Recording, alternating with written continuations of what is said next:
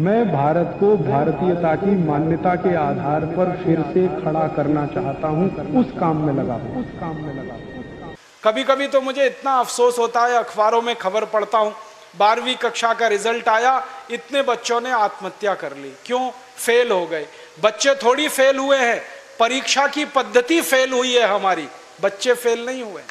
बच्चों के बारे में तो सारी दुनिया कहती है कि वो तो कच्ची मिट्टी के घड़े के जैसे हैं, जैसा आप शेप दोगे वैसे हो जाएँगे।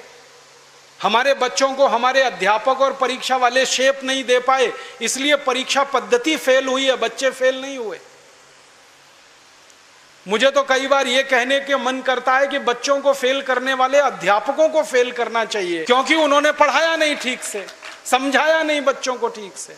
और इस शिक्षा पद्धति में क्या भेड़िया धसान है सौ में से नब्बे नंबर लाओ, निन्यानवे नंबर लाओ, अट्ठानवे नंबर लाओ तो आप बहुत होशियार हैं।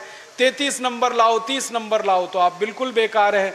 न्यूटन को तो ज़िंदगी में कभी भी तीस से ज़्यादा नंबर आए नहीं। बेकार है न्यूटन। वो तो सारी दुनिया में पूजा जाता है। हमेशा ही फेल हुआ। पास ही नहीं हुआ कभी न्यूटन। स्कूल वालों ने निकाल दिया उसको कि हर बार फेल हो जाता है फेल हो जाता है। ये पढ़ने लायक नहीं है। जब स्कूल ने निकाल दिया उसको, तब उसका दिमाग खुल गया।